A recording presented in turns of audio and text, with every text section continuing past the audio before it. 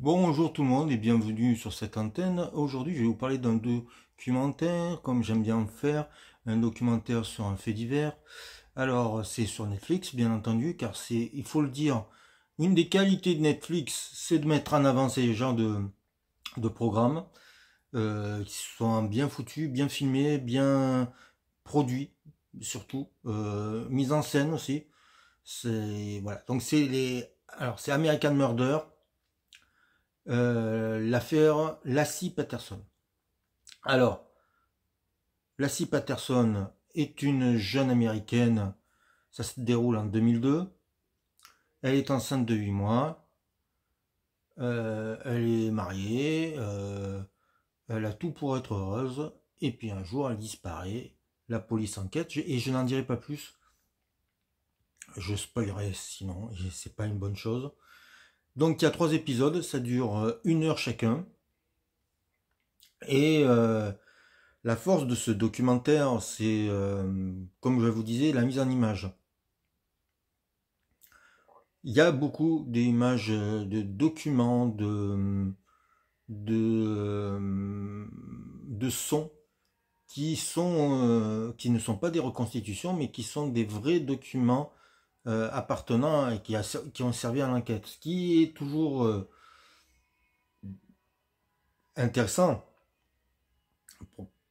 dérangeant même, on peut dire, mais qui donne une véracité euh, terrible, étonnante.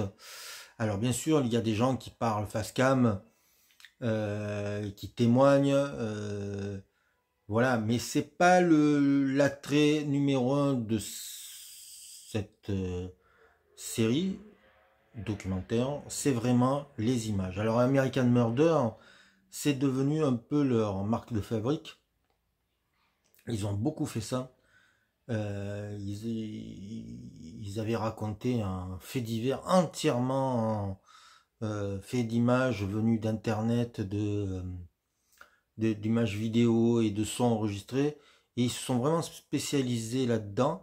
Alors, euh, c'est pas les documentaires les plus spectaculaires. Les histoires ne sont pas les plus euh, à base de rebondissements, de péripéties les plus folles les unes que les autres.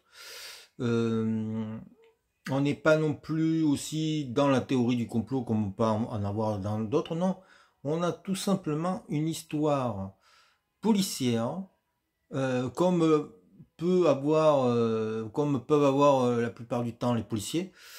Sauf que euh, l'attrait numéro un, c'est que on a l'impression d'être au cœur de l'histoire parce qu'il y a énormément d'images, d'archives, de sons, de vidéos, de voilà, on est au cœur de l'histoire et c'est ça qui fait tout son intérêt.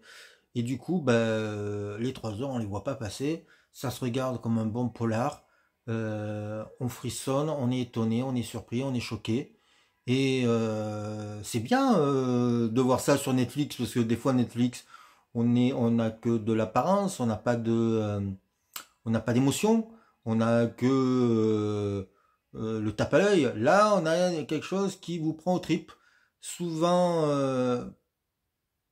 je vous dirais par la, la, la, la, la force du, fait divers hein.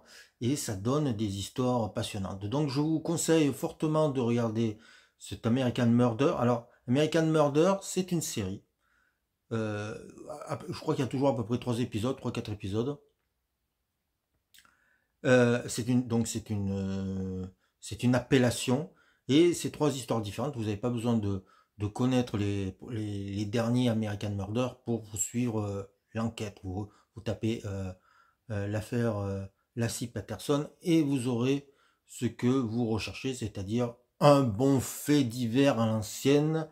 voilà, ils sont en train de, c'est du niveau de fait entrer l'accusé. Voilà, on peut pas dire mieux, sauf qu'il y a que de l'image pratiquement. Et c'est ça l'intérêt.